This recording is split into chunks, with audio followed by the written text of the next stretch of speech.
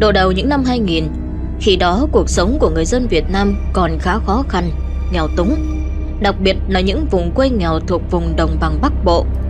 Khi đó dân cư còn khá thưa thớt, nên những câu chuyện ma quỷ cũng vì thế mà nhiều hơn. Bà cụ Thời là một người đàn bà quá chồng đã nhiều năm.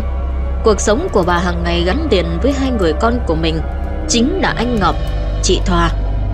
Chị Thoa là con lớn trong nhà, sau khi đủ tuổi lập gia đình thì lấy một người ở bên làng bên. Còn về phần anh Ngọc, anh lấy vợ rồi sống với mẹ của mình. Nhà bà cụ Thơi trước vốn là một gia đình có hoàn cảnh khó khăn. Sau này, khi anh Ngọc lấy vợ để có không gian cho người con trai với vợ, bà cụ Thời quyết định dọn xuống căn phòng nhỏ bên cạnh nhà. Căn phòng này vốn trước đây là của gia đình dùng để cất thóc sau mỗi vụ mùa. Cuộc sống gia đình nhà bà đáng nhẽ ra cứ thế yên bình nếu như ngày đó bà cụ Thôi không xảy ra chuyện.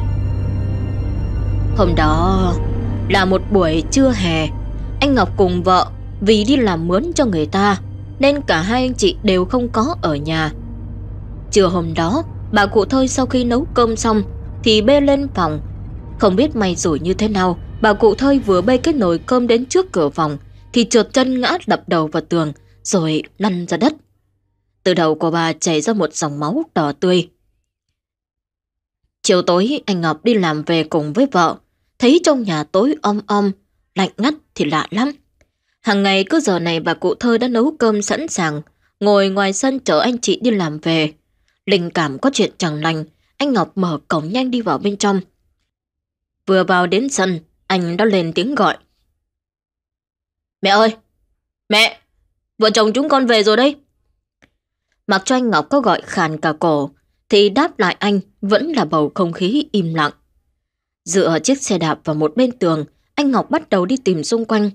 Khi anh vừa bước đến trước cửa phòng bà cụ thôi, thì cả người anh chết sững, miệng anh run run, cùng với đó là bàn tay anh nắm chặt.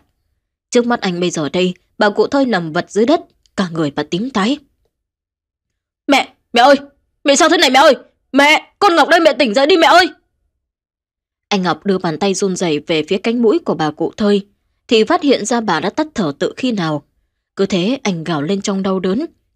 Anh ôm chặt lấy thân xác người mẹ già, mà trong lòng không khỏi quặn đau. Chị Hương vợ anh Ngọc thấy tiếng chồng thì vội vàng chạy vào phòng bà cụ thơi. Nhìn vũng máu dưới nền nhà cùng với xác bà cụ thơi đang nằm trong vòng tay anh Ngọc. Chị Hương lúc này đây đã hiểu sự việc đang diễn ra. Chị đi đến ôm lấy anh, nước mắt chị cũng rơi tự khi nào. Từ ngày chị Hương về đây làm dâu cho đến bây giờ đây, tình cảm của chị với mẹ chồng vẫn luôn rất tốt. Bà cụ thời hàng ngày chăm sóc chị như con gái ruột của mình. Cũng vì lẽ đó mà chị thương bà cụ lắm. Như nhớ ra điều gì, anh Ngọc kêu vợ ở lại với mẹ, còn anh chạy thẳng ra bên ngoài lấy xe đạp rồi chạy đi đâu đó. Độ 30 phút sau, tiếng xe lọc cọc của anh lại vang lên ngoài sân. Phía sau anh chính là chị Thoa cùng chồng của chị. Vừa vào đến sân chị Thoa đã lao vào trong phòng bà cụ thôi mà mếu máu. Mẹ ơi! Mẹ! Con Thoa đây mẹ ơi! Mẹ tỉnh dậy đi mẹ ơi! Con Giang rồi này! Con Giang rồi này! Mẹ ơi! Anh Ngọc ở bên cạnh cũng không kiềm chế được mà sụt sùi khóc. Tiếng khóc của chị Thoa khiến người dân xung quanh kéo sang ngày một đông. Trong lòng mọi người, ai nấy đều không khỏi xót thương cho số phận bà cụ thôi. Cuộc đời bao năm vất vả nuôi nấng hai đứa con, cho đến khi chuẩn bị được hưởng phúc, thì bi kịch này lại xảy đến với bà. Một vài người không kiềm chế được, mà thốt ra. Ôi dồi ôi! Bà thôi! Thế là hết đời bà thôi rồi! Ngày hôm đó sau đám ma của bà cụ thơ nhanh chóng diễn ra, làng trên xóm dưới từng đoàn đến để đưa tiễn người đàn bà xấu số. Mọi chuyện diễn ra suôn sẻ cho đến tối ngày hôm đấy. Trời mùa hè mây cao gió mát. Sau khi tiếp đón những người khách cuối cùng thì gia đình anh Ngọc tập trung ở bên cạnh quan tài của bà cụ thơi. Đêm hôm nay, mọi người sẽ cùng nhau trông linh cữu của bà cụ. Thằng cô Tuấn, con trai của chị Thoa, đang nằm trong lòng mẹ ngủ. Bất giác, nó giật mình tỉnh dậy. Ở bên ngoài cổng từ khi nào xuất hiện một bóng dáng người đàn bà cùng với cái lưng còng còng. Trên đầu của người đàn bà xuất hiện một vết sẹo to, không ngừng dỉ máu. Bà cụ đứng ở ngoài cổng nhìn vào bên trong nhà bằng ánh mắt u buồn. Bà cứ đứng nhìn về phía đám người nhà anh Ngọc mà lắc đầu buồn tủi. Người đàn bà quay người bỏ đi, bóng bà ta cứ thế khuất dần, khuất dần ở ngoài cổng. Trong nhà, thằng cu Tuấn chỉ tay ra ngoài mà mếu máu khóc. Bà ngoại! Bà ngoại! Bà ngoại đợi con với bà ngoại! Mẹ! Mẹ! Bà ngoại ngoài cổng kia!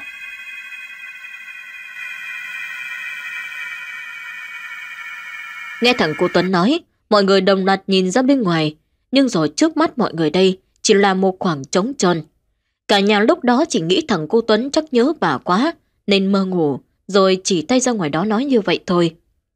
Nhưng rồi ở bên ngoài cổng, bóng bà cụ thôi lại xuất hiện. Bà cụ đi đi lại lại ngay trước cổng, ánh mắt của bà nhìn thẳng về phía thằng cô Tuấn. Trong nhà thằng cô Tuấn khóc ngày một to hơn, dường như tiếng khóc của nó vô tình xoáy sâu vào nỗi đau của chị Thoa.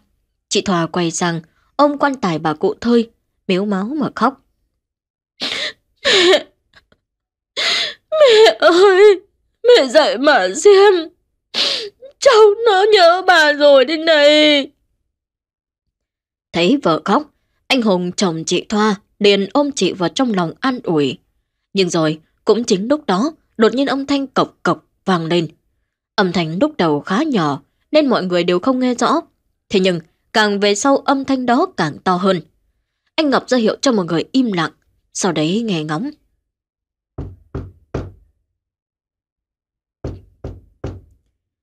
Từ trong quan tài có âm thanh vang lên khiến mọi người hốt hoảng quay sang nhìn nhau. Họ không biết âm thanh đó rốt cuộc là tại sao lại vang lên bên trong quan tài bà cụ thơi.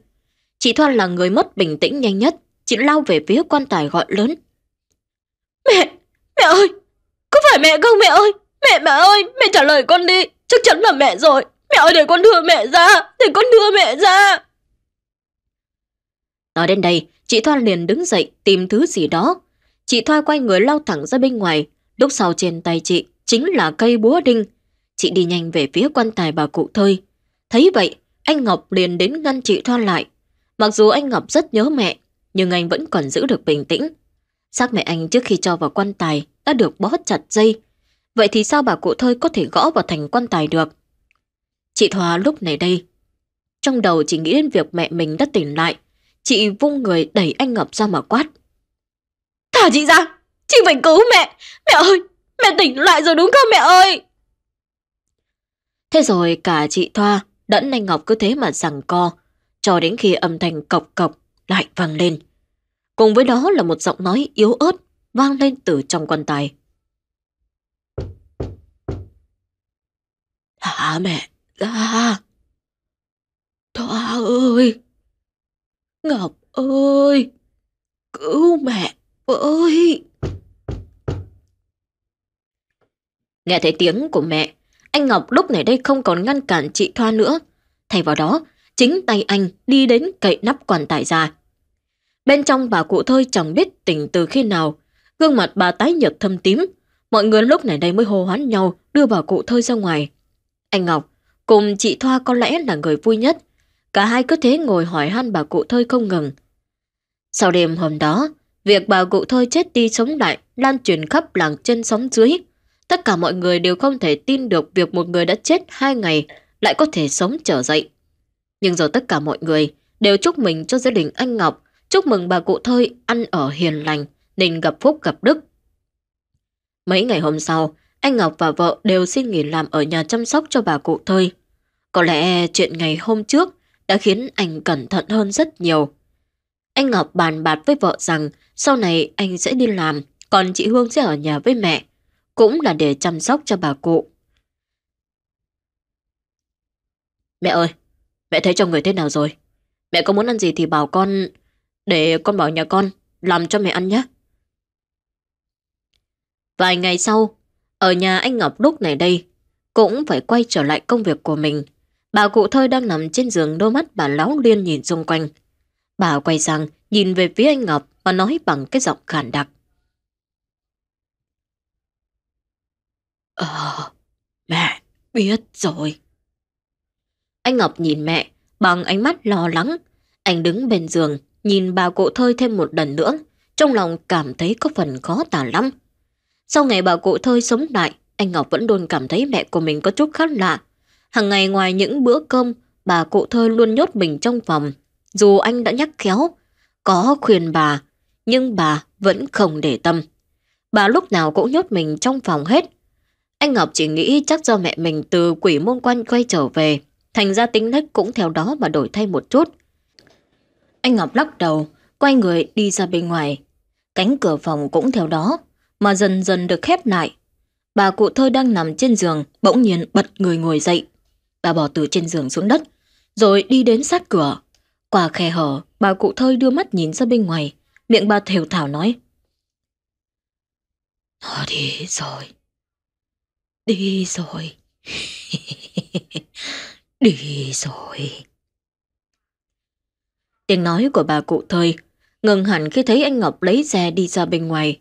Cùng lúc đó chị Hương cũng lấy xe rồi đạp đi. Bà cụ thời thấy hai người đã đi thì mở cửa bước ra.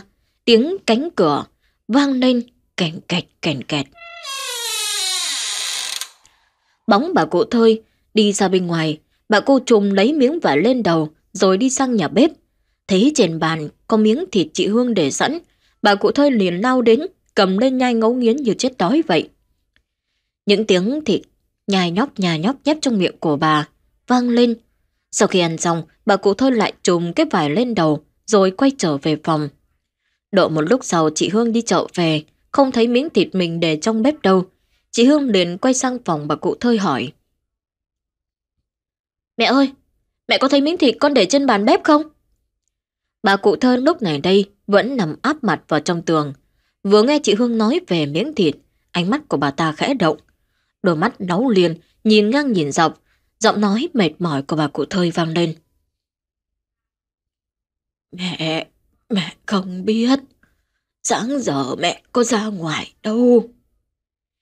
Chị Hương nghe thấy vậy thì không hỏi gì thêm nữa. Chị quay người đi ra bên ngoài. Chị nghĩ thầm chắc do con chó con mèo nhà nào đó qua đây rồi tha đi cũng nên. Trong phòng bà cụ thơi lại bắt đầu thở khò khà khò khè. Bà ngồi dậy giữa giường, ngoắc ngoắc cái cổ của mình, vang lên những tiếng răng rắc, răng rắc.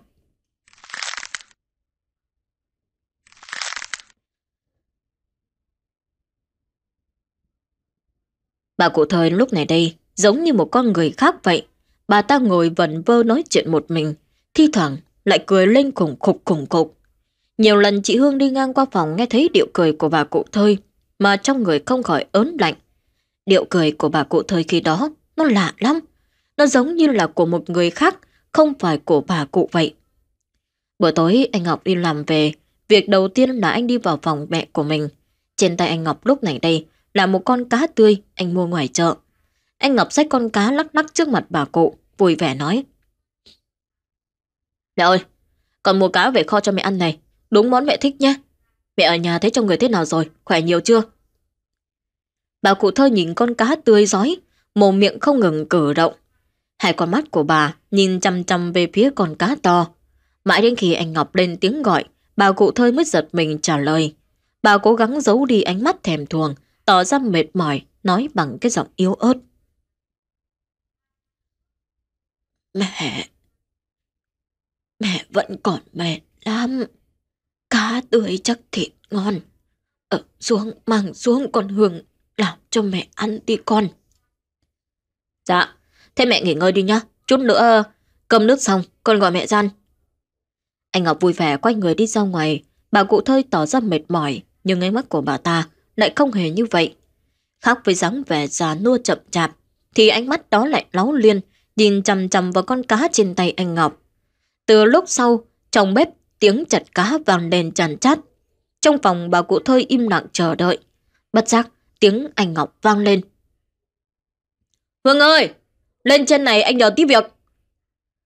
Cùng lúc đó tiếng bước chân của chị Hương vang lên, bà cụ Thôi chỉ đợi có vậy thôi, dáng vẻ chậm chạp của bà bỗng nhiên nhân thần vắt như một con chuột vậy. Bà lao thẳng ra bên ngoài đi qua gian bếp, vừa tới cửa bếp, bà đã nhìn thấy cái con cá đặt ở trên bếp. Bà vồ lấy, nhai ngấu nhai nghiến, sau đấy còn lại bao nhiêu, bà mang về phòng. Rồi bà còn không quên ngụy tạo ra một hiện trường rớt xuống đất. Một miếng bà cắn giỏ để quanh đấy.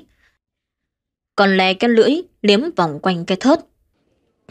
Chỉ một lúc sau thôi, cái thớt lúc này đây đã bị liếm sạch bách. Dưới ánh đèn vàng yếu ớt, bà cụ thơi dần dần đứng dậy, rồi nhẹ nhàng bước ra bên ngoài. Gương mặt bà ta lúc này đây đáng sợ hơn bao giờ hết. Vừa đi, bà cụ thời vừa lẩm bẩm. Cá tươi, cá tươi, phải ăn cả máu, phải ăn cả máu. Bà cụ lững thững đi ra khỏi gian bếp rồi trở về căn phòng tối tăm của mình. Trên nhà chị Hương sau khi giúp chồng xong liền quay về bếp xem lại cái nồi cá kho. Nhìn chiếc thớt sạch bóng dưới đất chị Hương nhìn thấy một miếng cá đang bị cắn dở sang. Chị không khỏi ngạc nhiên bởi khi nãy chị đã kịp dọn dẹp và cái thớt vẫn để đó cơ mà. Chị Hương đi ra bên ngoài nhìn con chó đang nằm ở sân chỉ tay vào nó mà chửi. Con Vàng! Mày đúng không? Mày giỏi lắm, Vàng nhá! Chửi xong, chị Hương quay ngược lại vào trong bếp rồi làm nốt mấy cái việc còn lại. Buổi tối hôm đó sau khi ăn uống xong, bà cụ thơ lấy cớ mệt mỏi về giường ngủ từ sớm. Thấy vậy anh Ngọc lo lắng. Mẹ ơi, mẹ khỏe hơn chút nào chưa? Hai để con gọi chị Tuyết qua tiêm cho mẹ mấy mũi, cho mẹ khỏe hơn nhé. Bà cụ thời nghe thấy thế thì vội vàng quay sang, nhìn thẳng về phía anh Ngọc. Ánh mắt bà ta lúc này đây sắc lạnh, khiến anh Ngọc có chút giật mình. Nhưng rồi nghe lập tức biểu cảm của bà ta thay đổi, vẫn bằng cái giọng mệt mỏi, bà ta nói. Mẹ không sao, anh không cần phải gọi bác sĩ đến đây làm gì. Vài ngày nữa, mẹ khỏe ấy mà. Nói rồi bà cụ thời quay người rời đi. Trong nhà anh Ngọc quay sang phía chị Hương, khó hiểu nói. Mình này, em có thấy mẹ thay đổi khác hẳn với trước kia không?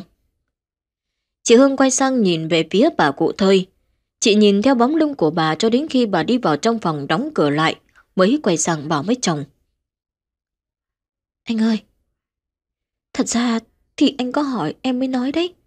Nhưng mà đúng là em cũng thấy mẹ dạo này khác lắm. Anh đi làm nên không biết, chứ em ở nhà với mẹ. Cả ngày, em biết. Từ hôm mẹ tỉnh dậy đến giờ, chưa thấy mẹ đi tắm rửa hôm nào. Với lại ban ngày mẹ hầu như trả ra khỏi phòng đâu. Cơm trưa em cũng phải mang bọt tận giường cho mẹ đấy. Mà anh vào phòng mẹ, có ngửi thấy cái mùi gì giống mùi chuột chết không? Chị Hương nhắc anh Ngọc mới nhớ ra, đúng là trong phòng của mẹ anh có thứ mùi gì đó ngai ngái, khăm khắm, rất khó ngửi. Nhưng rồi việc mẹ anh cả chục ngày nay không tắm rửa gì, thì có mùi cũng là chuyện không thể. Điều anh ái ngại nhất chính là tính nét bà cụ, bây giờ đây khác hẳn ngày xưa, hay cáu kỉnh chửi bới mọi người. Và đặc biệt là ánh mắt khi nãy, ánh mắt đó dường như là của một người khác chứ không phải của người mẹ nhìn con. Nhưng rồi bà cụ thơi cả người bằng xương bằng thịt trước mắt anh thế kia, làm sao có thể chối cãi được cơ chứ? Anh Ngọc quay sang nhìn về phía cửa phòng bà cụ thơi, rồi thở dài. Thời gian này em cố gắng để ý mẹ giúp anh. Chắc là sau chuyện vừa xảy ra, tính mẹ thay đổi đấy. Đợi thêm một thời gian nữa, chắc mẹ trở lại bình thường ấy mà. Chị Hương vốn là người phụ nữ chuẩn xã hội ngày xưa, lại thêm yêu chồng, với lại rất quý bà cụ thơi, nên khi nghe anh Ngọc nói vậy, chị gật đầu dạ ngay. Bữa cơm của hai vợ chồng anh chị lại tiếp tục diễn ra vui vẻ. Cùng lúc đó trong căn phòng tối của bà cụ thơi, không biết lấy đầu ra một con cá, độ to như cổ tay. Bà nhìn con cá bằng ánh mắt thèm thuồng đói khát, rồi ngay lập tức đưa con cá lên mồm mà cắn phẩm phập.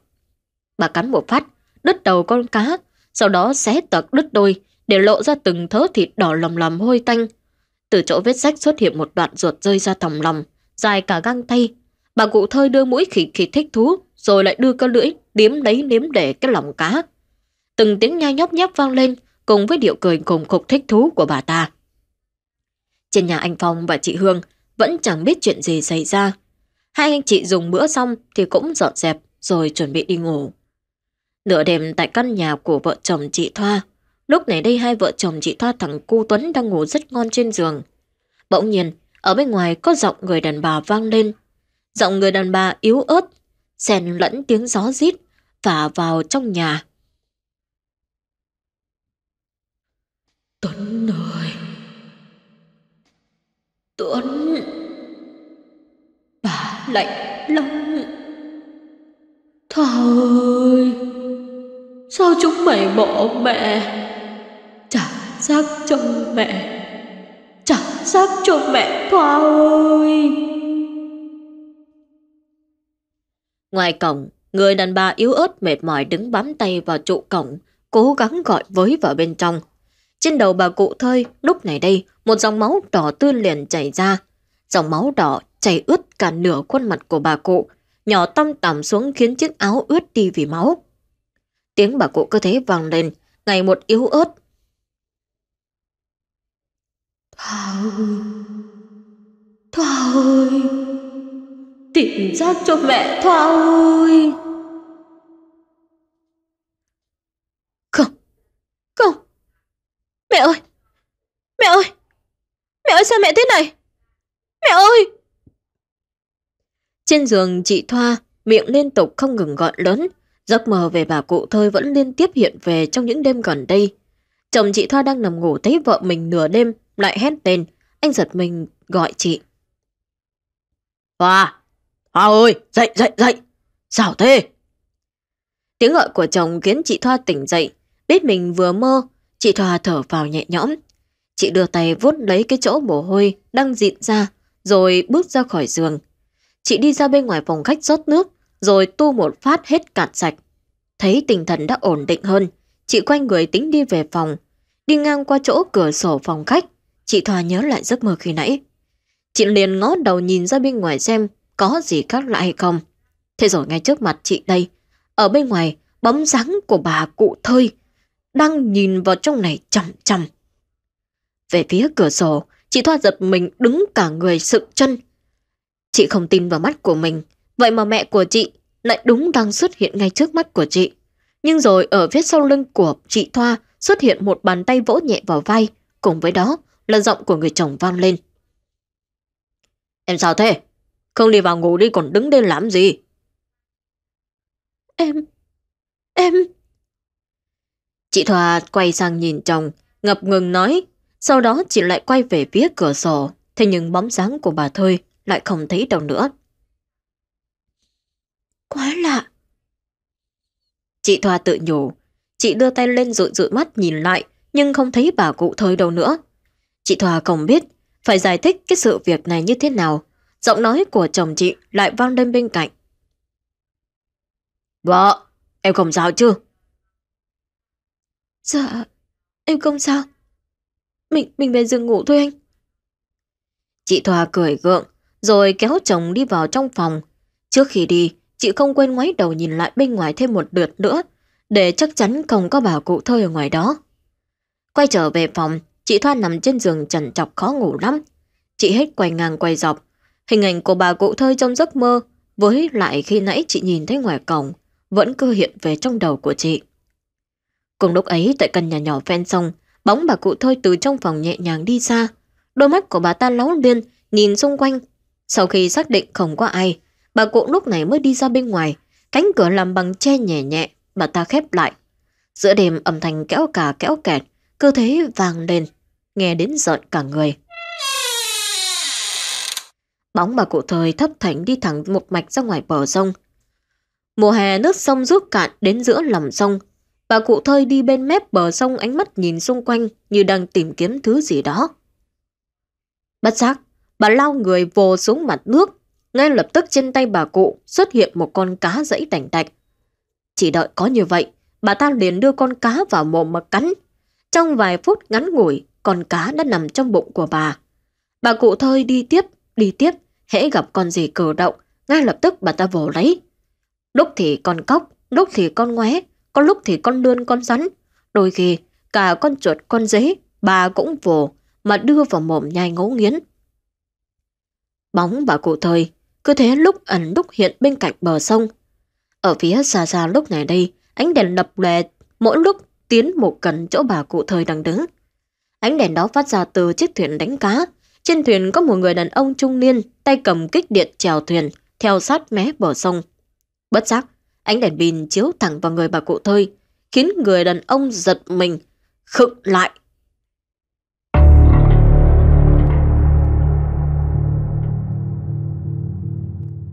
Trước mặt anh ta lúc này đây, bà cụ thơi cả người bùn đất đấm lem, gương mặt máu dày ra nhòe nhét. Cùng với đó là tại cái miệng của bà ta lúc này đây vẫn còn nửa con ếch thòi ra bên ngoài. Hai chân con ếch vẫn còn dãy dụa kịch liệt. Người đàn ông vừa nhìn thấy đã nhận ra ngay đó là bà cụ thơi. Anh ta lên tiếng gọi.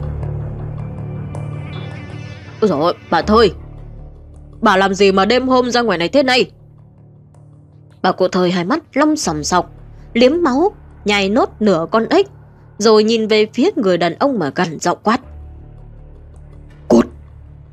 Ánh mắt của bà cụ khiến người đàn ông kia sực cả người, Cảm giác ớn lạnh xuất hiện trong đầu anh ta. Người đàn ông không nói không rằng vội vàng chèo thuyền lướt đi, Bỏ lại bà cụ thôi, Lại thoát ẩn thoát hiện bên cạnh mép sông. Sáng ngày hôm sau Hương ơi Em ở nhà cùng mẹ anh đi làm nhé Anh Ngọc dặn dò vợ Rồi đạp con xe đi làm. Anh đi thẳng một mạch ra ngoài đường lớn. Để rồi ở phía xa xa Bất giác có tiếng người gọi Khiến anh Ngọc vội vàng dừng lại. Nhận ra người gọi mình Là anh Long trả lưới Anh Ngọc vui vẻ chào hỏi. Anh Long, anh Long đấy hả? Gọi em có việc gì không? Anh Long sắc mặt có phần có nói.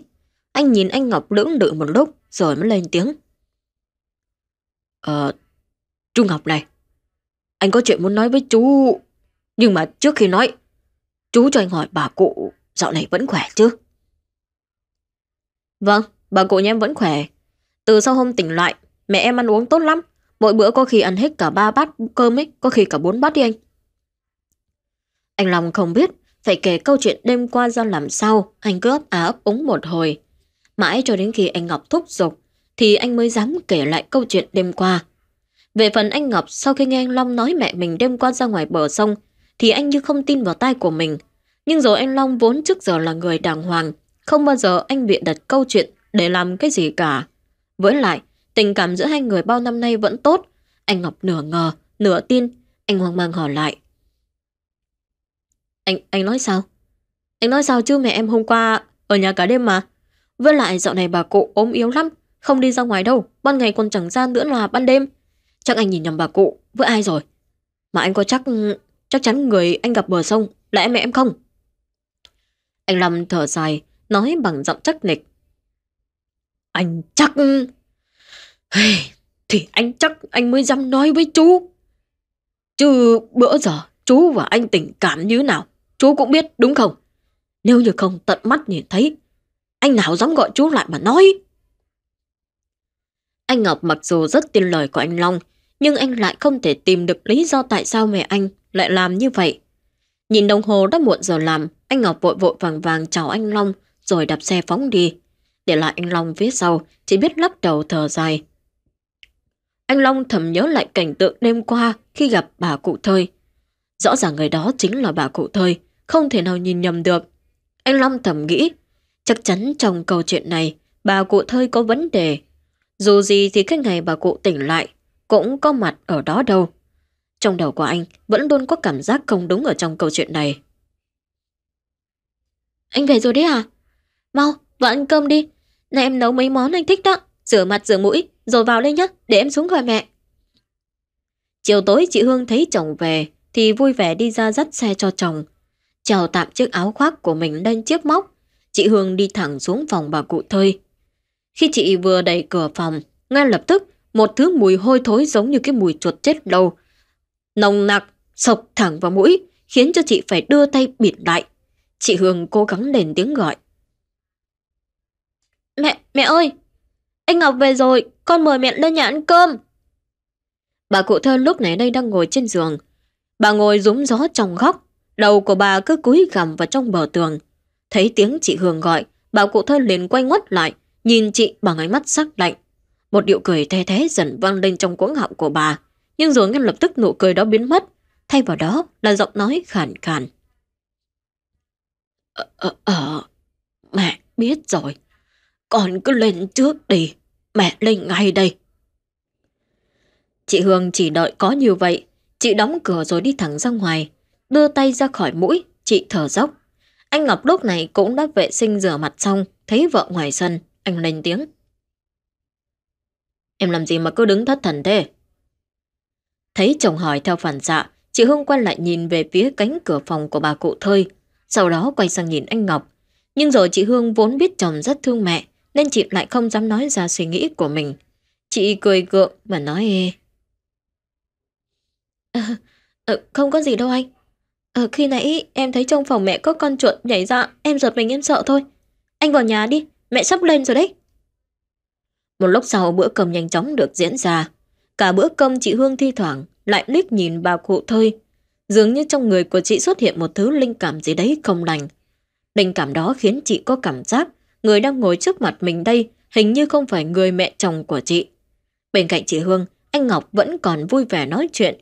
Anh gắp thức ăn cho bà cụ thơi, rồi quay sang nhìn chị Hương, kêu chị ăn nhiều vào. Ăn xong, bà cụ thơi ho khủng khặc, rồi cất tiếng nói. Ờ, tao về phòng ngủ đây. Mẹ ơi, mẹ không ngồi chơi với vợ chồng con. Mẹ suốt ngày ru rú trong phòng thế, lại đổ bệnh ra đấy. Anh Ngọc thấy mẹ đứng dậy, thì vội vàng lên tiếng gọi. Bà cụ thơi dường như không hề quan tâm đến lời nói của anh. dáng vẻ của bà ta thấp tha thấp thảnh đi ra bên ngoài, rồi dần dần chìm vào trong căn phòng tối om om. Màn đêm dần buông xuống, mang theo sương lạnh như muốn bao trùm toàn bộ căn nhà. Ánh đèn phòng của hai vợ chồng anh Ngọc đã vụt tắt từ lâu. Quang cảnh xung quanh bắt đầu chìm vào trong yên tĩnh. Nửa đêm, tiếng gà gáy canh bà vang lên, khiến cho chị Hương giật mình tỉnh giấc.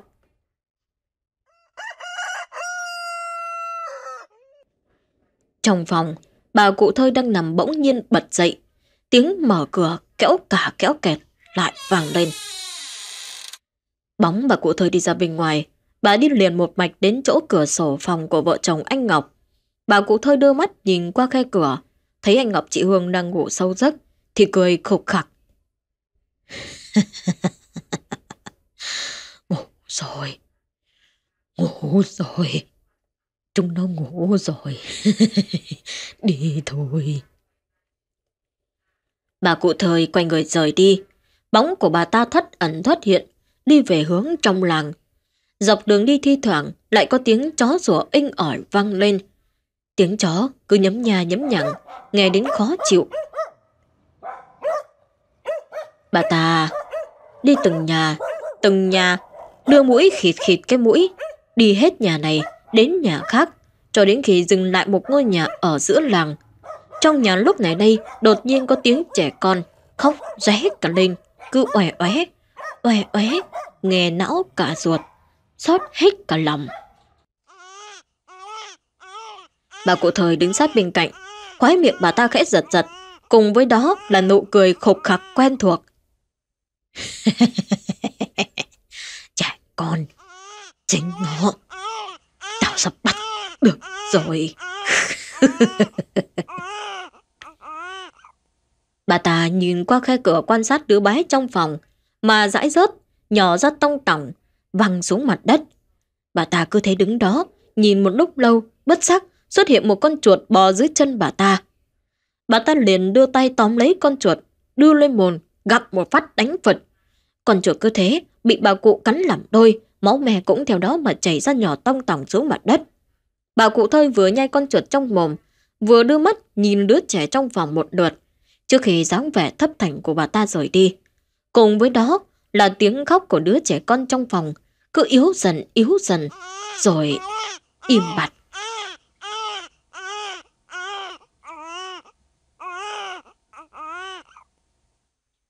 Sáng sớm ngày hôm sau, chị Thoa đã qua nhà anh Ngọc từ sớm.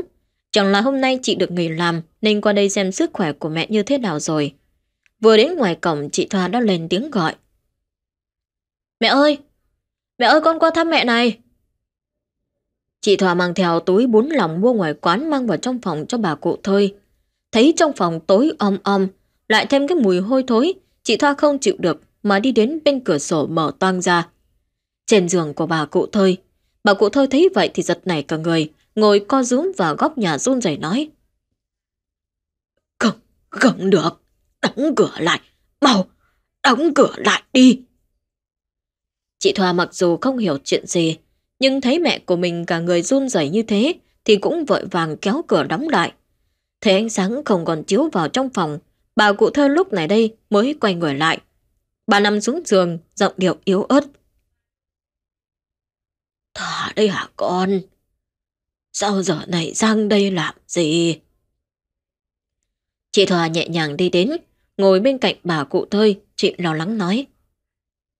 Dạ, hôm nay con được nghỉ, tiện qua đây thăm mẹ xem tình trạng mẹ dạo này thế nào. Mẹ có khỏe hơn chưa? Chưa còn thấy chú Ngọc kêu mẹ dạo này yếu lắm. Mẹ thấy trong người thế nào rồi? Có chỗ nào không tốt không nói với chúng con? Có gì chúng con còn đưa mẹ đi viện kịp thời? Bà cụ thơi vòng tay, kéo cái chăn đắp ngang người. Trời mùa hè nóng đến 37-38 độ, thế mà bà cụ lại có thể đắp chiếc chăn bồng Chị Thoa thấy vậy thì khó hiểu lắm, nhưng những sự việc này chị đều được nghe vợ chồng Ngọc kể lại nên tinh thần cũng có sự chuẩn bị từ trước. Bà cụ thời trả lời chị Thoa qua loa vài câu rồi ra vẻ mệt mỏi muốn đi nghỉ. Chị Thoa cũng chỉ biết dặn dò bà giữ sức khỏe thật tốt rồi quay người đi ra bên ngoài. Cửa phòng nhanh chóng được chị khép lại. Bên ngoài chị Hương đang đứng đợi sẵn. Thấy chị Thoa đi ra, chị Hương liền kéo tay chị Thoa đến một chỗ xa xa. Chị, chị thấy mẹ sao rồi? Chị có thấy mẹ dọn này khác không? Chị Thòa gật đầu, ra hiệu với chị Hương, rồi cả hai đi lên nhà trên nói chuyện. Trong căn phòng tối tăm, bà cụ thơi cả người đang run rẩy. Chỗ bị ánh sáng chiếu vào khi nãy, lúc này đây đang phân hủy thối hoàng hoắc. Từ bên trong là vô số con giòi đang nhung nhúc bỏ ra. Bà cụ thơi đưa tay xuống cái chỗ thịt thối, cầm lên mấy cái con giòi bằng cái đầu đũa. Nhìn con nào con nấy ngoe ngoải trước mặt, bà cười khẳng khặc, thích thú. Sau đó ném tất cả cái đám giòi vào miệng, nhai một cách ngon lành. Nhanh thần thoát, bà cụ thôi đưa hết con này đến con khác, bỏ vào trong miệng cắn kích bột. Từ khóe miệng của bà một thứ dịch vàng, đỏ, trắng lẫn lộn vào nhau. Cứ thế bà bắt từng con, từng con mà ăn ngấu nghiến như chết đói vậy. Trên nhà chị Thoa ngồi nói chuyện với chị Hương đến gần trưa thì mới đi về. Trước khi về, chị Thoa không quên vào trong buồng chào bà cụ thơi. Chiều tối ấy anh Ngọc đi làm về, vừa về đến nhà vẻ mặt anh đã hiện lên vẻ khó chịu. Anh chống chiếc xe đạp giữa sân rồi đi thẳng vào trong nhà. Chị Hương thấy chồng như vậy thì quan tâm hỏi. Anh, anh sao thế? Mặt mũi đỏ gai gắt. Sao thế? Anh Ngọc mặt đỏ tía tay, chỉ tay vào trong làng mà nói. Bực, bực không chịu được. Trong làng chúng nó đang đồn ầm lên là mẹ mình bị con ma làm kia kìa. Tổ sư bố chúng nó. Không biết cái đứa nào ác bồm ác miệng, đơm đặt chuyện mẹ mình, bị con quỷ nó nhập. Anh làm về, mà phải đến mấy người gọi lại. Em thấy có điền không? Trong phòng bà cụ thời, hai mắt của bà ta sáng quắc lên, láo liên nghe cuộc nói chuyện giữa hai vợ chồng anh Ngọc. Bà cụ bò ra khỏi giường tiến sát đến cánh cửa nghe ngóng, đưa con mắt quan sát nhìn qua khe cửa, theo dõi từng hành động của hai anh chị. Sắc mặt của bà ta lúc này đây hết sức kỳ dị. Bà cứ thế ngồi bên cửa nghe hết cuộc nói chuyện của hai vợ chồng. Thì thoảng, bà lại đưa mắt nhìn về phía hai người, khóe miệng bà ta cứ thế giật giật. Chúng mày, chúng mày cứ chửi nhau đi. chửi nhau đi. Vừa nói bà cụ thơi vừa nhẹ nhàng đi xuống, vẫn dáng nằm như trước, bà ta nằm co rúm vào trong góc tường, mặt bà áp vào bờ tường, hơi thở khò khè, đại vang lên. Đêm hôm đó, đúng khi có tiếng gà gáy canh ba, lại vang lên. Bóng dáng bà cụ thơ lại đi ra bên ngoài, bà đi về căn nhà có đứa trẻ con, rồi đứng bên cạnh cửa sổ, dòm dòm vào bên trong. Một vài người đi đêm gặp bà cụ thơi tập tĩnh đi ngoài đường, thì chặn lại hỏi. Ô, bà Thơi, bà làm gì mà đi đêm hôm thế này? Vợ chồng thằng Ngọc đâu? Không không bảo nó đưa đi. Bà cụ Thơi không quan tâm đến câu hỏi của người kia. Bà bước đi, ngày một nhanh hơn, dáng vẻ của bà ta cứ khập bên này, sẹo bên kia. Thấy vậy người đàn ông đạp xe đuổi theo, cho đến khi hắn ta kịp đuổi theo bà cụ Thơi. Thì đột nhiên bà dừng lại, bà quay sang nhìn về phía người đàn ông, gằn giọng quát. Cút! Cút ngay! Nếu không, tao giết chết mày!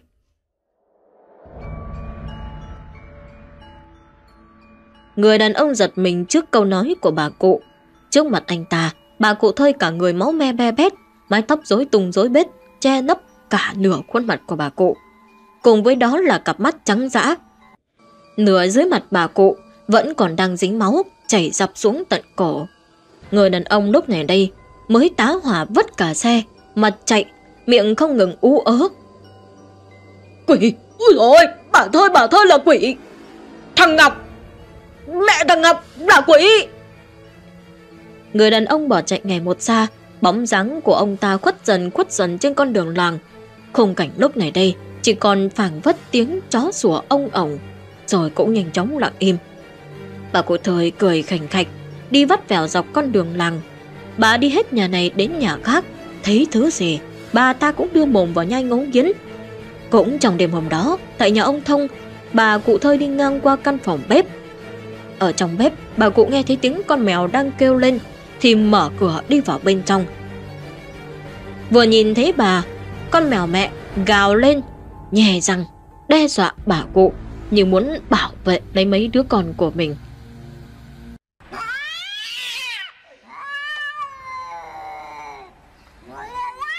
Nhưng rồi, nó ngay lập tức bị bà cụ thơi túm người, ném vật vào tường chết tức chết tuổi. Máu cứ thế mà ổng ập chảy ra. Bà ta quay về phía đám mèo con. Sau đó, gần mỗi lúc một gần hơn, trong ổ cả thể có đến 5-6 con mèo con, mắt mũi chưa có mở ra, đang nằm quấn quýt vào nhau. Không nghĩ ngợi nhiều, bà cụ thơ liền lao đến tóm lấy từng con mà đưa vào mồm nhai ngoàm ngoàm. Từng tiếng kêu răng rắc đau đớn vang lên. Bà ta cứ thế ăn từng con, từng con một. Thứ thích nhất là cái đầu, bà ta luôn cắn trước. Máu mèo từ trong miệng cứ thế chảy ra ướt đẫm cả một khoảng đất. Thế rồi bất giác ở cửa bếp mở ra. Ông Thông lúc này đây, đứng ngay trước cửa bếp. Ánh mắt ông nhìn xung quanh, khi nãy ông Thông nửa đêm mót đi vệ sinh quá nên có đi ra ngoài. Thế rồi cũng chính lúc đó bà cụ thời ném con mèo mẹ vào tường vang lên một tiếng bốp, khiến ông Thông nghe thấy. Ông Thông đi vào trong bếp, nhìn ngó xung quanh, nhưng vì căn phòng quá tối, bà cụ thơi lại ở trong góc chuồng rông, nên ông không nhìn thấy. Sau khi tìm kiếm không thấy gì, ông thở dài, sau đấy đi ra bên ngoài. Cánh cửa bếp cũng theo đó mà khép lại. Bà cụ thơi nãy giờ im lặng chờ đợi, thấy ông ta đã rời đi, bà quay sang chỗ mấy con mèo mà ăn tiếp. Vừa ăn, bà ta vừa cười khục khặc vang lên trong đêm. Sau đêm đó, những ngày sau lời đồn về bà cụ thôi bị ma nhập nửa đêm đi ra đường càng đúc, càng đồn thổi nhiều hơn. Anh Ngọc cũng vì chuyện này mà mất ăn mất ngủ. Mặc cho rất nhiều người khuyên ngăn, nhưng vì quá yêu thương người mẹ, anh Ngọc đều gạt bỏ ngoài tay những lời nói của mọi người. Bãi đi một thời gian, thì đến một ngày ở bên ngoài đầu làng, xuất hiện hai bóng người một già một trẻ đi vào bên trong. Người già tuổi độ ngoài 70, còn người trẻ độ ngoài 20, 30 gì đó. Bóng hai người một cao một thấp, đứng ngay trước cổng làng. Người già chính là thầy Lương, còn người trẻ là đệ tử của ông ta. Thường được ông thầy Lương gọi là thằng Hoạt. Ông thầy Lương đứng ngay trước cổng làng, ánh mắt nhìn vào bên trong những dãy nhà, miệng thở dài nói. Ở đây sao nhiều tử khí thế này? Thằng Hoạt tay cầm chiếc bánh bao, miệng của nó nhai nhồm nhọn hỏi. từ khí? từ khí nào cơ thầy? từ khí ở đâu? Ông thầy Lương chỉ tay vào trong ngôi nhà, nhàn nhạt, nhạt nói. Trong ngôi làng này, chắc chắn có chuyện xảy ra. Khi thầy Lương và thằng Hoạt còn đang nói chuyện, thì ở bên trong làng có hai bố con ông Hùng hớt hải phóng xe ra. Ông Hùng đi đến cúi đầu chào thầy Lương, rồi bắt đầu nói. Dạ thưa thầy, may quá thầy tới rồi. Nhà con đợi thầy từ sáng đến giờ. Ờ, được rồi. Phiền gia đình đưa tôi vào bên trong. Thầy Lương cùng thằng Hoạt theo bố con ông Hùng đi vào bên trong. Càng vào sâu trong làng, ông thầy Lương càng thấy tử khí tỏa ra ngày một nồng đậm hơn. Ông thầy Lương đưa mắt nhìn xung quanh, nhưng tạm thời chưa thể xác định được tử khí này xuất phát từ đâu. Ông Hùng trở thấy Lương một mạch về nhà của mình. Chẳng là bố của ông Hùng mới mất cách đây ít lâu. Sau đó xem thầy thì người ta nói nhà ông bị trùng tang. Lúc đầu gia đình ông Hùng không có tin, chỉ nghĩ người ta nói thế thôi cố tình vòi thêm tiền. Nhưng rồi cách đây một tuần, anh trai của ông Hùng đang nằm ngủ thì tự nhiên ngã vật ra đất, chết tươi. Lúc đó gia đình mới tin rằng trùng tăng là có thật. Cũng nhờ người này người kia giới thiệu mà ông Hùng mới có thể mời được thầy Lương về giúp gia đình ông chấn yểm trùng tăng. Vừa vào đến sân, ông Hùng đã vội vàng gọi lớn. Bà nó, bà nó đâu rồi? Mau pha trả cho tôi. Thầy đến rồi đây này. Dạ, mời thầy vào bên trong. Trong nhà bà Hiền và ông Hùng hớt hải đi ra chào thầy. Thầy Lương theo lời mời của gia đình tiến vào bên trong bàn uống nước. Nhìn xung quanh, căn nhà thầy Lương thở dài. Nhà ông bị trùng tăng nặng lắm đấy. Kiểu này là trùng tăng liên tăng. Nếu không có gì thay đổi, độ tháng nữa thôi, có người sẽ bị bắt đi. Mà tỷ lệ cao là thằng con trai nhà ông, là người tiếp theo đấy. Vợ chồng ông Hùng nghe thấy Lương nói thì xanh cả mặt, cả người run rẩy vội vào lên tiếng. Ừ ôi không không, không được đâu thầy ơi, cả nhà có mỗi đứa, đứa con, không không thể để thần trùng bắt được. Thầy, thầy tài phép, xem giúp gia đình chúng tôi vượt qua cái hạn này. Gia đình tôi cắn rơm, cắn cỏ đội ơn thầy. Thầy Lương vốn là một người chuyên đi cứu giúp mọi người, thấy hai vợ chồng nhà ông hồng quỳ lạy, ông liền đỡ hai người dậy, nhẹ nhàng nói tiếp. Hai người đừng có làm như vậy, gia đình yên tâm.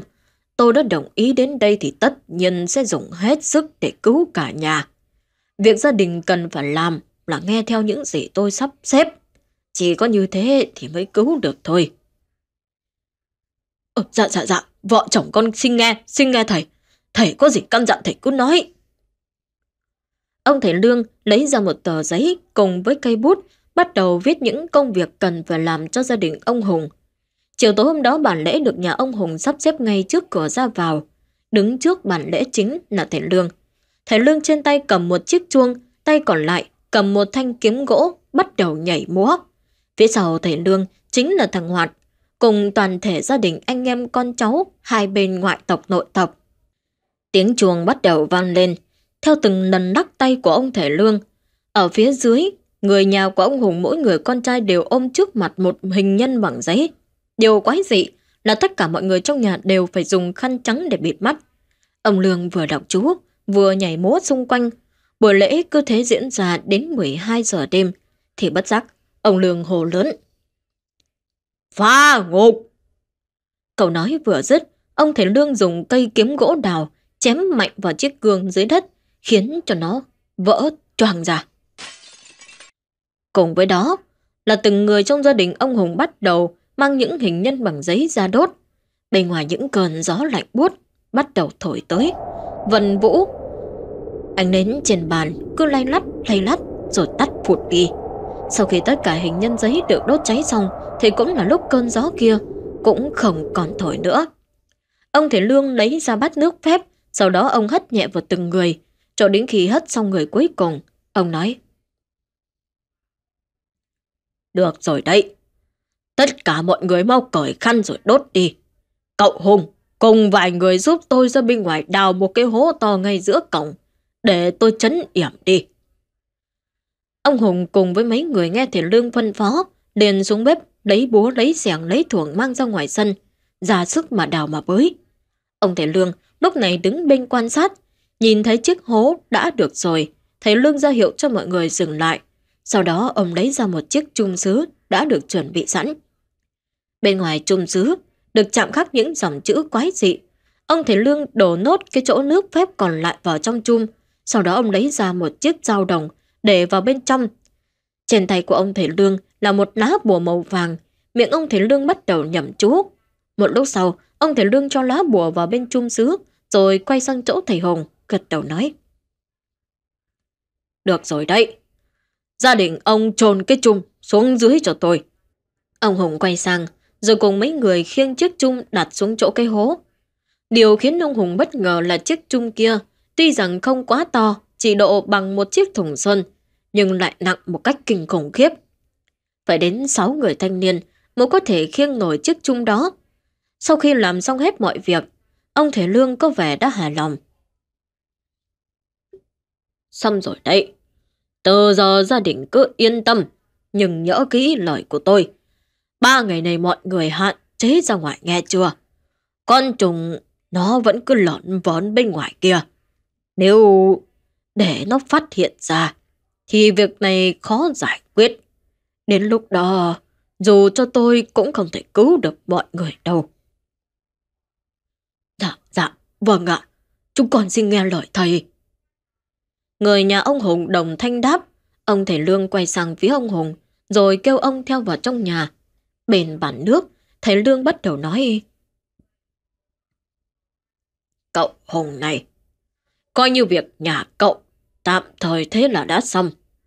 Nhưng tôi có việc này muốn hỏi thêm. Việc này chỉ là việc riêng, cậu à, không cần phải lo lắng. Ông Hồng dáng vẻ chăm chú nói. Dạ, có việc gì? Thầy cứ nói ạ. Chỉ cần là chuyện con biết chắc chắn con sẽ nói. Ông Thầy Lương có vẻ vừa ý. Tôi à, muốn hỏi cậu, trong làng dạo gần đây có người nào chết đi sống lại hay không? Hoặc đại loại như tưởng chết nhưng lại không chết. Cái này chắc cậu có biết chứ? Vừa nghe Thầy Lương nói đến đây, ông Hùng nghĩ ngay đến bà cụ thời. Nói gì thì nói, việc bà cụ thơi chết xong rồi sống dậy thì đúng là có thật, cả làng ai mà chả biết. Ông Hùng nhìn ông Thầy Lương gật đầu nói bằng giọng quả quyết. Dạ thưa thầy, đúng là gần đây trong làng có một người chết. Nhưng rồi chẳng hiểu sao, ờ, hai hôm sau á, hai hôm sau làm đám tang đóng đinh rồi đấy nhá, sống lại. Chuyện này thì cả làng ai cũng biết. Mà cho con hỏi, thầy hỏi chuyện này để làm gì vậy thầy? Ông thầy Lương gật đầu nói. Thế thì đúng rồi đấy. Vậy là người đấy bị quỷ nhập chẳng, gục xác rồi đấy. Ở bên, ông Hùng nghe chẳng hiểu gì, ông hỏi thêm. Thầy à, thầy nói sao? Quỷ nhập chàng là sao thầy? Rồi rồi cái con quỷ cướp xác là sao? Thấy ông Hùng hỏi, thầy Lương liền giải thích. Quỷ nhập tràng vốn là một hiện tượng trong nhân gian, thường rất ít khi gặp đấy. Nó còn gọi, còn được hiểu là quỷ cướp xác. Người đã chết rồi sinh hoạt như người bình thường. Tuy nhiên, điểm để nhận biết chính là những người bị quỷ nhập tràng thường rất sợ ánh sáng mặt trời. Nếu như tiếp xúc phải cái thứ ánh sáng mặt trời kia, thì da thịt sẽ ngay lập tức bị tiêu cháy thối giữa.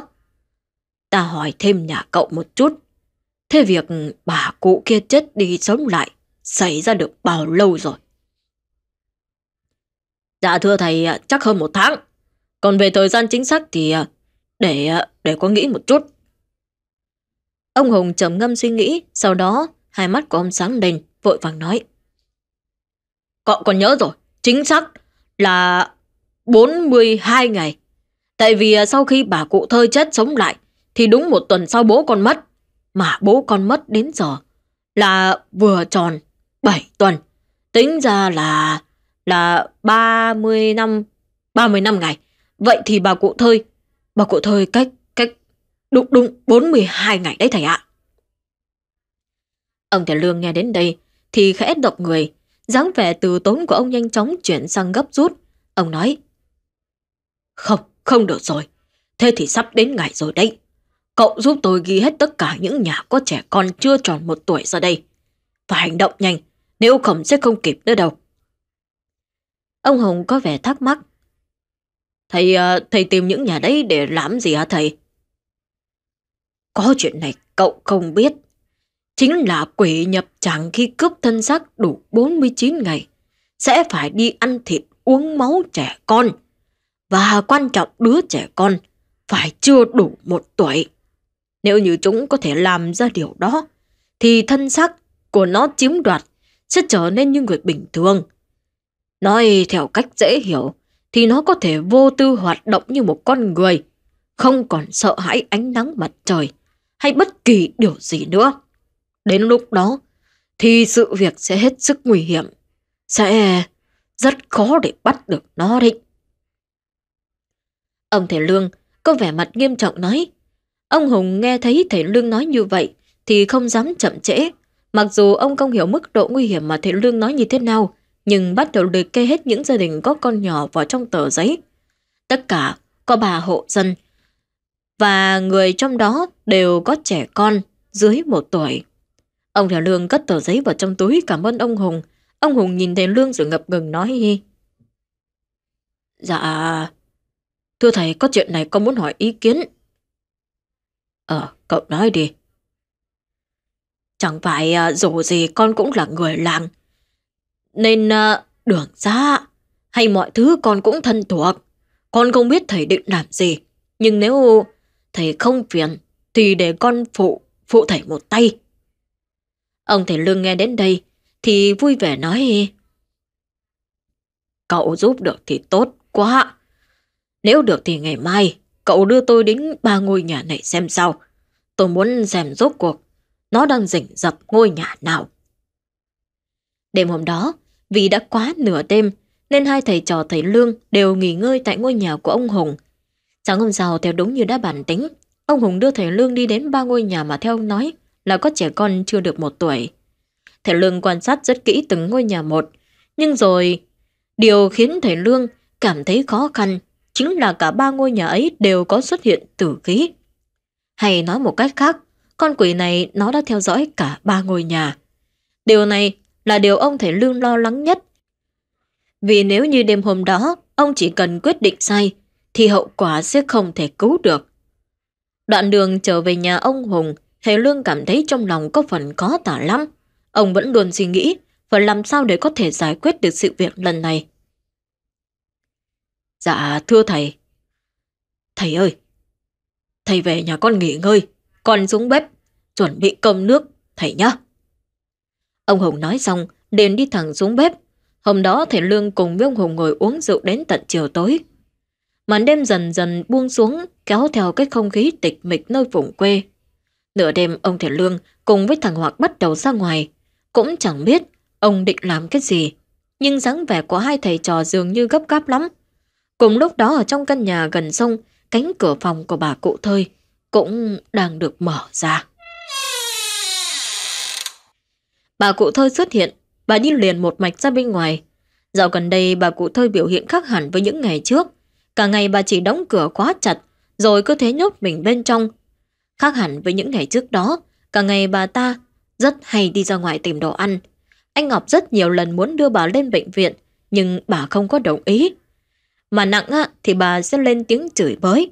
Có những lúc bà còn đập đồ trong phòng để anh Ngọc không dám nói, không dám lại gần phòng của bà ta.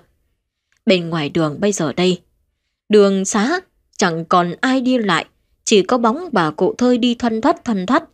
Bà ta đi đến từng ngôi nhà một trong cả ba căn nhà có trẻ con. Cùng lúc đó, ở phía xa xa, thầy Lương cùng thằng Hoạt đã có mặt. Hai người nhẹ nhàng đi theo phía sau bà cụ thơi. Thế nhưng, khóe miệng của bà cụ thơi khẽ giật giật, cùng với đó là một nụ cười đầy nham hiểm hiện ra. Bà cụ thơ liếc nhìn về phía sau, rồi đi mỗi lúc một nhanh hơn. Ông thầy Lương cùng với thằng Hoạt cũng theo thế mà đuổi theo. Nhưng rồi bóng bà cụ thơi giống như một con khỉ vậy, lao vun vút về phía trước. Chỉ ít phút sau, ông thầy Lương và thằng Hoạt chẳng thể thấy bà ta đâu. Đã bị mất dấu. Ông thầy Lương nhìn xung quanh, thở dài nói. Hey, nó phát hiện chúng ta rồi đấy. Thằng Hoạt ở bên cạnh ngơ ngác. Ô, thế giờ phải làm sao thưa thầy? Ông thầy lắc đầu nói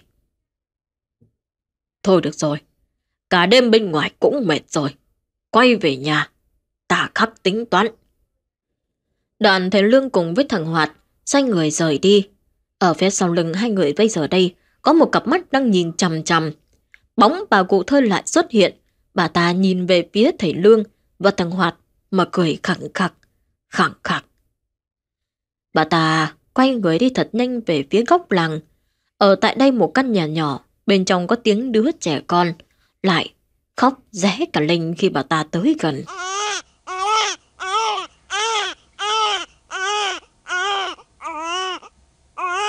Ở bên ngoài cửa bóng bà cụ thơi đi vòng xung quanh căn nhà, rồi lại mất hút trong bóng tối. Mẹ, mẹ ơi, mẹ quan gì không để vợ chồng con làm cho mẹ? Sáng ngày hôm sau như thường lệ, anh Ngọc lại đập cửa gọi bà cụ thôi. Thế rồi giọng của bà lại vang lên hẳn học. Không ăn! Tao nói tao không ăn! Chúng mày cút đi! Để cho tao yên! Anh Ngọc vì quá lo lắng cho mẹ, nên anh lên tiếng hỏi thăm. Mẹ ơi, mẹ ăn chút gì đi có được không? Mới hôm nay mẹ cứ nhịn thế này thì sức đâu mà chịu được. Anh Ngọc còn chưa nói dứt câu thì một âm thanh đổ vỡ lại vang lên. Biết bà cụ thời lại đập đồ, anh Ngọc không dám nói gì thêm. Anh lắc đầu quay người đi ra bên ngoài. Anh thầm nhủ, nếu tình trạng này cứ tiếp tục diễn ra, thì chắc nay mai thôi, anh phải phá cửa lao vào. Nếu cứ để như thế này, sợ rằng vài hôm nữa bà cụ thơi sẽ chết vì đói mất. Cũng trong ngày hôm đó, thầy Lương cùng với ông Hùng ra ngoài từ sớm. Hai người không biết đi đâu, chỉ thấy dáng vẻ có phần gấp gáp lắm. Đến chiều tối thì cả hai bắt đầu quay trở về nhà. Phía sau lưng ông thầy Lương còn có một chiếc túi lớn đựng chứa những đồ lỉnh kỉnh. Thằng Hoạt trong nhà thấy thầy đã về, nó liền đau ra hỏi. Thưa thầy, thầy đi công chuyện đã về rồi à? Ông thầy Lương đưa tay xoa xoa đầu thằng cu Hoạt, nhẹ giọng nói. Về rồi đây, thế ở nhà có chuyện gì không? Dạ, dạ không có. Con ở đây, làm sao có chuyện gì được hả thầy? Thằng Hoạt vui vẻ nói chuyện, rồi cùng ông thể Lương đi vào trong nhà. Đêm hôm đó theo đúng như kế hoạch, trời vừa sẩm tối cả hai liền mang theo đồ nghề đi ra. Ông thể Lương đi đến hai trong ba căn nhà, bắt đầu dán bùa, cũng như lập trận pháp xung quanh. Sau khi làm xong mọi việc, thể Lương ra hiệu cho thằng Hoạt, rồi cả hai cùng nhau ra về. À, thưa thầy, thầy đã về. Ông Hồng đang ngồi uống nước chè trên bàn, thấy thầy Lương đã về, thì đi ra đỡ thầy vào bên trong, rót chén nước chè cho thầy Lương. Ông Hồng nhẹ nhàng nói. Mọi việc không có bất thường chứ thầy. Thầy Lương gật đầu ra hiệu, sau đó ba người lại ngồi nói chuyện với nhau. Nửa đêm hôm đó, tiếng gà gáy cành bà lại vang lên. Trong căn phòng của bà cụ thời, hai mắt bà ta đang nhắm nghiền đột nhiên, trợn ngược cả lên. Ngay lập tức, bà ta bỏ ra khỏi giường, rồi tiến ra bên ngoài. Trời mùa hè tiếng ếch tiếng nhái cũng theo đó mà kêu lên choàng choạc. Đặc biệt là tiếng dế mảnh kêu đêm, mỗi lúc một lớn hơn. Bóng bà cụ thời đi ngày một nhanh, hướng về ba căn nhà. Vừa đi bà cụ thơi vừa đưa mắt nhìn láo lên xung quanh. Có vẻ như ngày hôm qua việc bị phát hiện có người theo dõi mình, nên hôm nay bà ta cẩn thận hơn rất nhiều. Vừa đến trước ngôi nhà đầu tiên, bà ta cảm nhận được một điều khác thường đang diễn ra ở đây. Bà ta nhìn về hướng căn nhà mặc khục khặc. Biết đã có người lập trận ở đây, bà ta quay người rời đi, tiếp đến đến căn nhà thứ hai. Bà ta lại thấy trận pháp, y như hệt căn nhà đầu tiên. Lúc này vẻ mặt bà ta có chút vặn vẹo, hai mắt long sòng sọc, như phát điên, muốn đập phá đồ đạc xung quanh. Ở bên trong đứa trẻ con đang ngủ nghe thấy tiếng động bên ngoài thì giật mình tỉnh dậy khóc oe oe.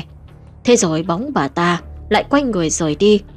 Lần này bà ta nhanh lắm, bà ta lao băng băng qua từng bụi rậm, tiến thẳng về phía căn nhà thứ ba. Căn nhà này cũng chính là căn nhà mà hôm trước bà ta cắt đuôi được hai thầy trò ông thầy Lương. Nhìn căn nhà không có trận pháp xung quanh, bà cụ thôi cười đắc thắng. Đoạn, bà ta lén lút tiến về phía sau căn nhà. Bà đi lòng vòng quanh ngôi nhà mấy vòng, rồi mới quay người rời đi. Ngày hôm sau, và mấy ngày hôm sau nữa, ông thầy Lương hàng ngày chỉ ở trong nhà ông Hùng chứ không có hành động gì khác. Cho đến tối ngày hôm nay, ông thầy Lương lúc này đây mới mang theo chiếc túi đi ra bên ngoài. Thằng Hoạt cùng với ông Hùng cũng vội vàng đi với ông. Thầy Lương đi thẳng một mạch qua căn nhà không có trận pháp. Ông lấy trong túi ra một sợi chỉ đỏ, sau đó dùng 5 chiếc cờ mang 5 màu khác nhau, tượng trưng cho ngũ hành kim mộc thủy hỏa thổ. Cắm 5 lá cờ xung quanh, thầy Lương lấy sợi chỉ đỏ buộc vào từng đầu cờ, tạo thành một khoảng trống.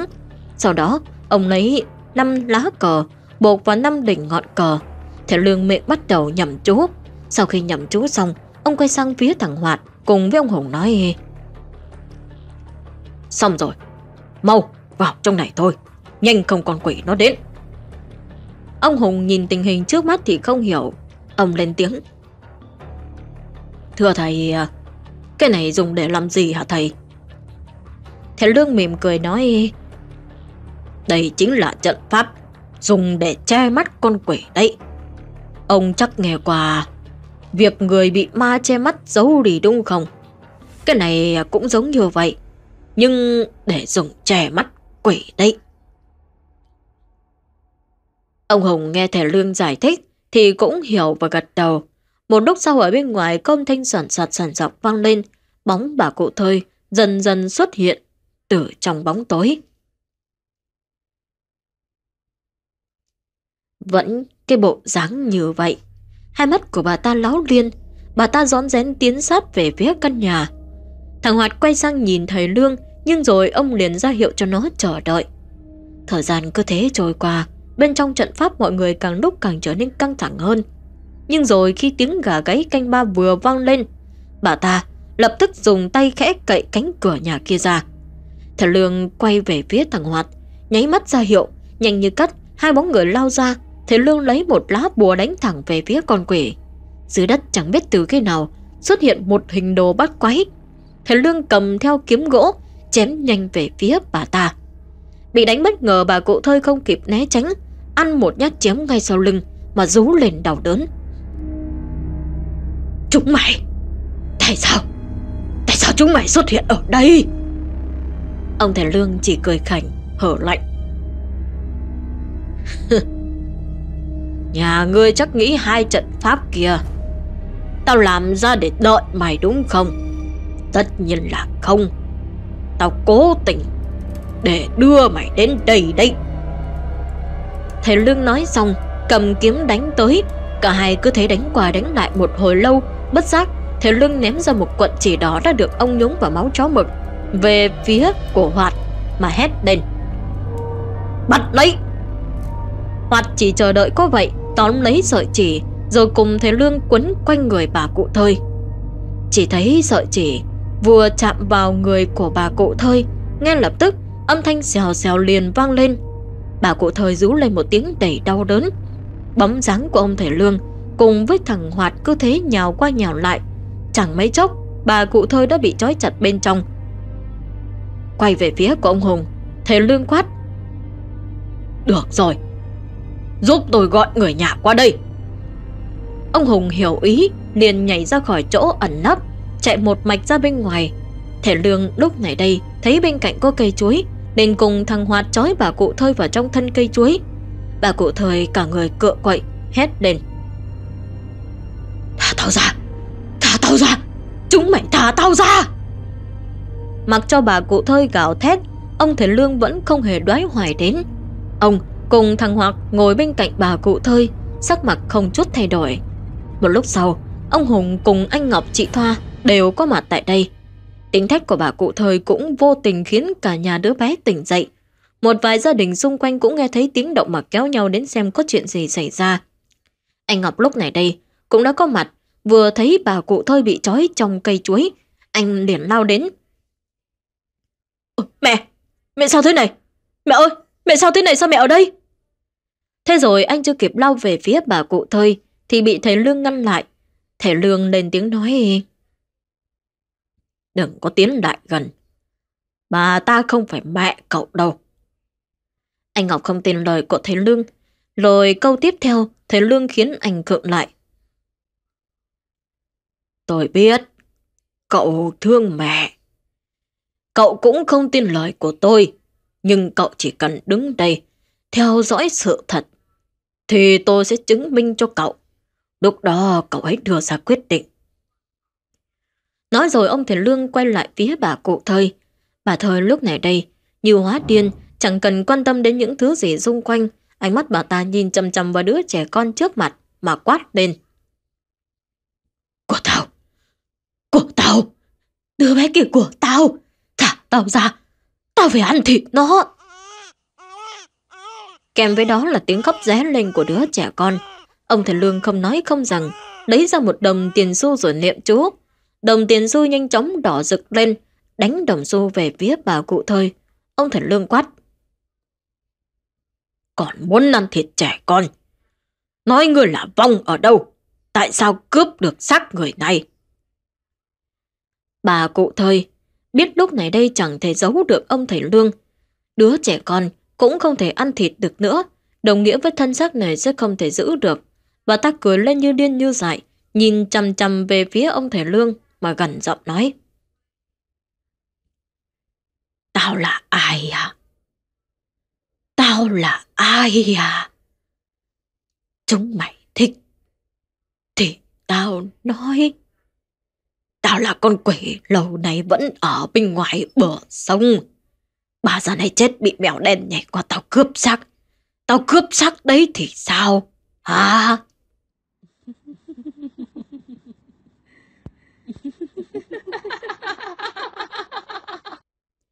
Anh Ngọc này đến đây thì khụy xuống. Anh nhìn về phía bà cụ thơi đau đớn. Mẹ tao đâu? Mẹ tao đâu? Mày trả lại xác cho mẹ tao. Mày là cái thứ quỷ độ lốt người.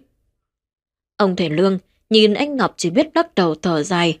Cũng chỉ vì tình yêu thương mù quáng mà anh Ngọc không nhận ra sự khác thường của mẹ anh. Để rồi xác mẹ anh bị con ma con quỷ nó chiếm giữ bao lâu nay. Thể Lương lấy ra một chiếc hũ sành, rồi lấy một lá bùa nhét vào bên trong. Hướng cái hũ về phía con quỷ. Thầy Lương bắt đầu nhầm chú. Sau đó, ông hồ.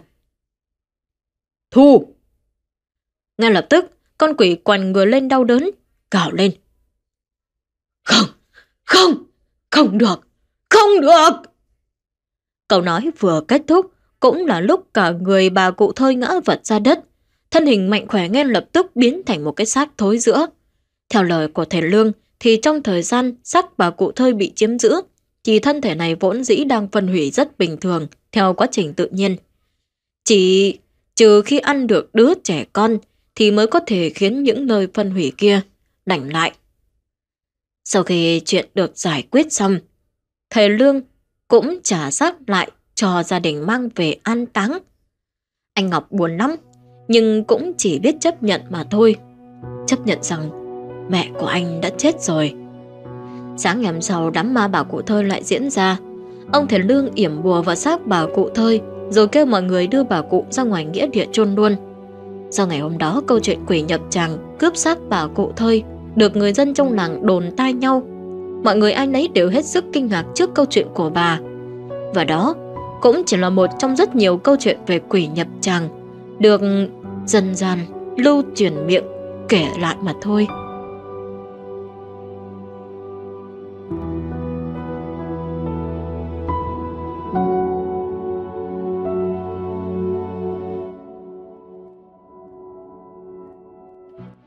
Vâng, thưa quý vị, câu chuyện của chúng ta đến đây là kết thúc. Câu chuyện của tác giả Như Quỳnh lần đầu tiên hợp tác với kênh của chúng ta. À, cũng vì lần đầu tiên hợp tác cho nên uh, quý vị hãy để lại thật nhiều những bình luận bên dưới động viên tác giả để tác giả sẽ viết nhiều câu chuyện hay gửi về cho kênh của chúng ta. Quỷ nhập tràng thì không phải là chúng ta chưa từng nghe đến đúng không ạ? Và mỗi một nơi thì miêu tả về quỷ nhập tràng khác nhau. Như ở trong chỗ của Hằng á, ngày xưa Hằng Hằng ở cái khu kinh tế mới á, thì người ờ, dân tộc Sơ Tiêng ở đấy đại đa số là dân tộc Sơ Tiêng với ờ, Tày, Nùng cũng có nhưng mà ít. Chủ yếu là dân tộc Sơ Tiêng và Hằng có mấy người bạn cũng thân là Hằng không nói Hằng không phải người dân tộc nhé, Hằng cũng là người dân tộc dân tộc Kinh thôi và Hằng đang đang đọc tên dân tộc Sở Tiên để dễ phân biệt ấy. Mấy người bạn thân của Hằng cũng là người dân tộc và nói cho Hằng rằng ấy, ở trong buôn trong bản ngày xưa, các già hay kể lại ấy, có một con quỷ nó cũng kiểu giống như quỷ nhập tràng ở ở chúng ta này này. Nhưng mà cái cái kiểu của nó khác. Đó là nó không có về nhà, nó không có ẩn nấp ở trong nhà giả dạng người thân đâu. Mà một khi mà nó đã hóa quỷ rồi ấy, nó ở trên rừng, nó ở trên cây. Đấy, ban ngày thì nó sẽ trốn vào trong lòng đất. Bạn của Hằng nói á, ở trong uh, cái khu nghĩa địa của của chỉ chôn chỉ dành riêng cho bản làng của nó ấy. Có rất nhiều những ngôi mộ bị sập. Mọi người có biết ngôi mộ bị sập là như nào không? Tức là khi mà chúng ta chôn chúng ta sẽ chôn uh, um um lên đúng không ạ? Um lên cao độ đầm độ độ tầm 4 50 phân ấy. Nhưng mà ở trong cái nghĩa điệu của buôn nó ấy, rất nhiều những ngôi mộ nó lõm hẳn xuống. Thì thường nếu như mà chúng ta nhìn thấy trong nghĩa điệu của chúng ta có những cái phần đất lõm xuống như thế thì chúng ta nghĩ là cái phần mộ này đã được bốc đúng không ạ? Nhưng mà trong buôn của bạn Hằng á, nó nói không có tập tục bốc mộ chôn lại. Mà những cái phần mộ bị sập đó tức là đã có một con quỷ. Nó thoát ra. À, nó đào, nó thoát ra bằng đường cát. Và xung quanh những cái khu mà nghĩa địa của buôn làng của con bạn Hằng ấy, nó có những cái hố. Cái hố nó chỉ rộng khoảng à, khoảng chỉ tầm như kiểu là ba bốn mươi phân như giống như kiểu mấy con con chó nó hay nghịch nó đảo ấy quý vị nhiều lắm nó có nhiều mấy cái hố như thế lắm thì nếu như mà chúng ta không để ý thì chúng ta nghĩ đó là do con chó con thảo hay là con gì đấy nó đảo hoặc là những cái hố mà có tự nhiên đúng không ạ? Nhưng mà bạn quảng nó nói á, đó là những ngày xưa con quỷ nó nó nó khôn, nó không đào từ cái cái phần mộ của nó chui lên, mà nó đào thông qua một cái đường khác, nó chui ra. Ban ngày nó sẽ chui ngược trở lại quan tài của nó.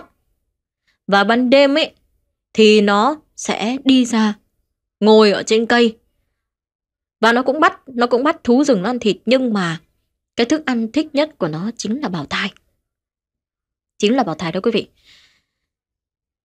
Ban đầu nó yếu thì nó còn lẩn trốn như thế, xong dần dần mà nó, kiểu, nó đã thành một con quỷ mạnh rồi ấy, nó có thể yên lại dưới ánh nắng mặt trời ấy. Nó sẽ hóa thành người, ban ngày nó thành người, ban đêm nó thành quỷ. Và một khi mà nó thấy ai có bầu ấy, nó chỉ cần giả vờ nó đến nó nói chuyện, nó sờ vào bụng thôi. Cái thai nó lập tức biến mất. Đêm hôm đó người mẹ sẽ sinh và chỉ toàn nước đen thôi không có bào thai không có gì hết đấy và trong trên đất nước của chúng ta thì có rất nhiều anh em dân tộc khác nhau và mỗi một tập thể buôn làng mỗi một à, người anh em dân tộc đều có một những câu chuyện về con quỷ của bản làng riêng mình và nó cũng kinh dị chẳng kém, đúng không ạ? Đặc biệt Hằng nghe con bạn của Hằng nó kể Hằng cũng thấy sợ và Hằng cũng có một lần Hằng vào trong khu tập thể chôn cất của buôn làng người dân tộc rồi. Công nhận nó có vài cái phần đất nó trũng xuống và có có mấy cái hố xung quanh ban đầu hàng cứ tưởng là mấy con chó nó hay vào trong nương, trong dãy xong bắt đầu ra đấy nó đảo nó nghịch. Nhưng mà sau khi nghe con bạn nó kể xong một cái, sợ. Sợ luôn mà nghĩ đến cảnh tượng mà con quỷ nó chui ra, chui vào, xong bắt đầu nó ngồi trên cây, nó nhìn xuống người bên dưới, cười he he he he, ngất vâng cái chuyện là đến đây thôi cũng muộn rồi chúc quý vị ngủ ngon và có một giấc mơ đẹp hãy chọn xin một like, một comment bên dưới để kênh có thể phát triển hơn nhé. Xin chào và hẹn gặp lại.